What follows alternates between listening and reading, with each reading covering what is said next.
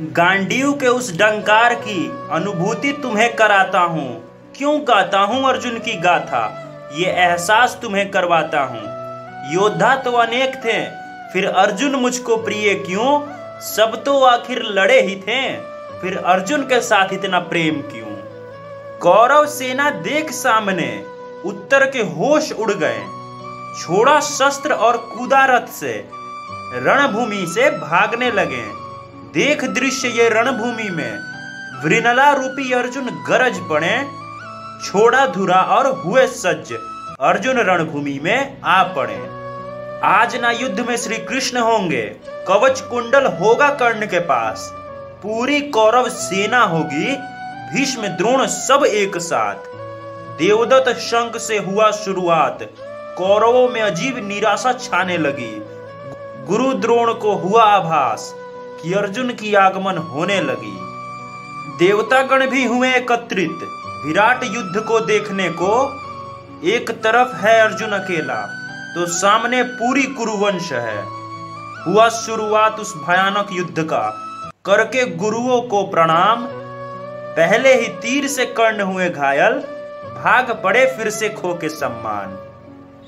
अश्वत्थामा आए सामने, तीरों की बारिश करने लगे। पार्थ को पराजित करने हेतु युद्ध भव्य वो करने लगे। लेकिन फिर भी बात वही की अर्जुन तो फिर अर्जुन था, हुए नतमस्तक छोड़ा रण, आखिर पार्थ के आगे कौन था? कृपाचार्य भी हुए पराजित, अर्जुन के आगे उस दिन। नियति तो कुछ और ही थी, उस नर के सामने उस दिन। समय आ गया रणभूमि में, द्रोण के समक्ष उनका प्रिय शिष्य है ग्रहण किया उनके तीरों को प्रथम। आशीर्वाद रूपी उस अर्जुन ने। गुरु के हर तीर का उत्तर पार्थ आदर सहित दे रहे थे। गुरु के हर तीर का उत्तर पार्थ आदर सहित दे रहे थे। शिक्षा की है एकाग्रता से ग्रहण। ये प्रमाण आज वो दे रहे थे। पार्थ के इस पराक्रम का आनंद गुरु द्रोण भी उठा रहे थे। देवता भी थे चकित मानो, रुद्र स्वयं युद्ध कर रहे थे। अंततः गुरु द्रोण को भी परास्त किया गांडीवधारी ने। जय जय कार फिर लगने लगी। अद्भुत पराक्रम दिखाया अर्जुन ने। गुरु द्रोण की खुशी का ठिकाना ना था उस दिन। समझ आया क्यों पार्थ भव्य है, कौरवों को भी उस दिन। सेनाओं में विध्वंस मचने लगी, रक्त की धाराएँ बहने लगी। सेनाओं में विध्वंस मचने लगी, रक्त की धाराएँ बहने लगी।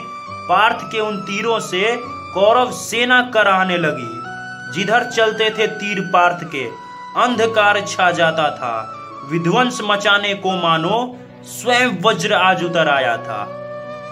देखकर इस भयावह दृश्य को दुर्योधन घबराने लगा। किया आग्रह महामहिम को अर्जुन की गाथा सुनाने लगा। अब सामने आ चुके थे सदी के सबसे क्रांतिकारी योद्धा। अर्जुन को कुछ क्षण रोकने का इन्हीं में था सामर्थ्य बड़ा। भीष्म पितामह के उग्र रूप का दर्शन अर्जुन को भी हो गया। काट डाला प्रत्यंचा गांडीव की, कवच जमी पे गिरा डाला। लेकिन अर्जुन तो अर्जुन था। अगले क्षण ही तैयार मिला। दिखाया ऐसा पराक्रम युद्ध में कि पितामह को भी प्रसन्न किया। हुए पराजित बाबा भीषम भी उस दिन प्रिय पौत्र के आगे, हृदय उनका करुणा से भरा सब कुछ न्योछावर पार्थ के आगे। सूर्यास्त होने वाली थी। युद्ध एक तरफा हो गया था।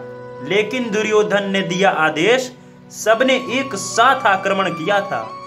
अर्जुन को भी अब जल्द से जल्द युद्ध समाप्ति करनी थी। गुरुजनों का अनादर करना मनसा उसकी ना कभी थी। सम्मोहन अस्त्र का चखा स्वाद उस दिन कौरव सेना ने छोड़ा रण और भागे दुर्योधन। साथ दी कौरव सेना ने।